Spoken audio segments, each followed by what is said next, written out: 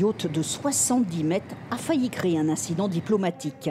Il avait été saisi pour payer les dettes de Théodorin Obiang, le fils aîné du président de Guinée équatoriale, qui l'utilisait même si le bateau appartient officiellement au ministère de la Défense. D'autres propriétés que la famille Obiang possède au Cap ont aussi été saisies. Car depuis dix ans, un Sud-Africain mène une bataille juridique contre le président de Guinée équatoriale. Daniel von Rensburg réclame plus de 2 millions d'euros en dommages et intérêts pour avoir été emprisonné suite à une affaire de vente de compagnie aérienne qui a mal tourné. Il a passé près de 500 jours dans les geôles de Malabo.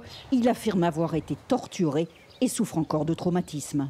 Le pire, ce sont les viols sur les femmes et les abus sur les enfants. Il n'y a rien de pire que cela. Et vous êtes totalement impuissant face à ces exactions.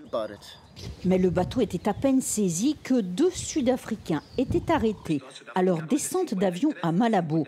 Deux ingénieurs accusés de trafic de cocaïne. À la télévision nationale, ils démentent les accusations.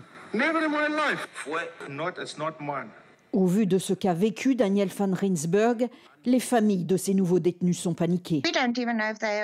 Nous ne savons même pas s'ils sont en vie. C'est ce que j'ai dit à l'ambassadeur. Tout ce que nous demandons, c'est de voir une photo de notre proche, ou juste qu'on nous appelle, qu'on puisse répondre, même brièvement. La famille Obiang avait menacé de sanctionner l'Afrique du Sud si on ne lui rendait pas son bateau. Pour cet activiste qui vit désormais en exil, cette arrestation n'est pas une coïncidence. On doit obliger à de respecter la loi. On doit obliger, et le gouvernement de Sud-Afrique doit finir ses relations avec la Guinée. Ils ont été kidnappés. On les a fait une fausse accusation pour faire de la pression à la Sud-Afrique et qu'ils puissent laisser le bateau. Les autorités sud-africaines ont finalement laissé partir le bateau, mais les deux Sud-Africains sont toujours en prison.